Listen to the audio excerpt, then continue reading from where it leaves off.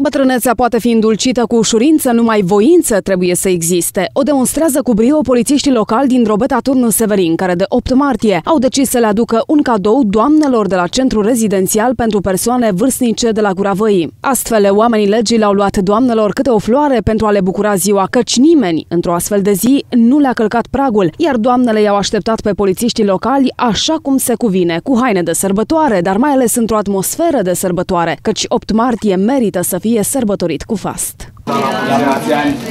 Bună dimineața și la mulți ani! să aveți o primăvară frumoasă, multă fericire și la mulți ani! Asta e cel mai important și multă sănătate!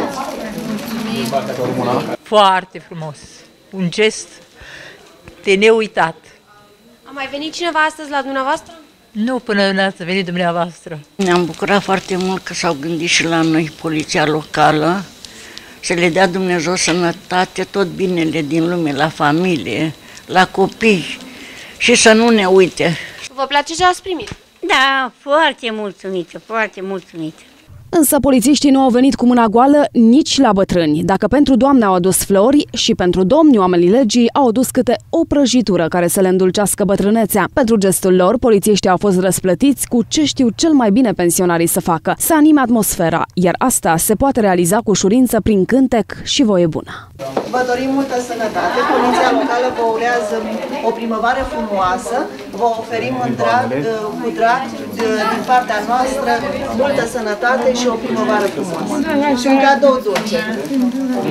Mulțumim foarte frumos și spunem multă sănătate, fericire și la mulți ani. Vă așteptați să primiți? Da, vă așteptam ca să primim și n-a mai venit nimeni ca să primim, numai de la dumneavoastră. Bine să trăiască la mulți ani, toate doamnele să trăiască, toate doamnele să trăiască.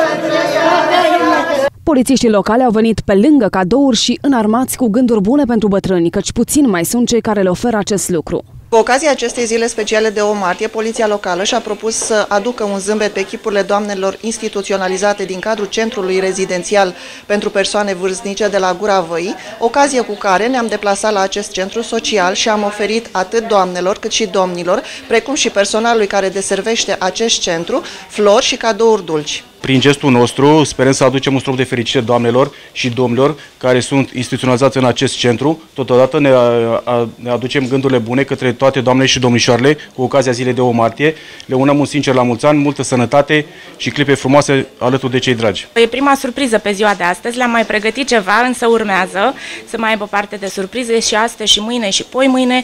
Încercăm să implicăm în cât mai multe activități pentru că e suficient uh, că stau deja uh, de destul de mult timp închiși aici. Le mulțumim polițiștilor locali și mai așteptăm și anul viitor și în fiecare an. La centrul rezidențial pentru persoane vârstnice de la Guravăi sunt cazați circa 20 de bătrâni, care au preferat să-și petreacă aici ultima parte a vieții, tocmai pentru a evita singurătatea și a găsi o companie plăcută.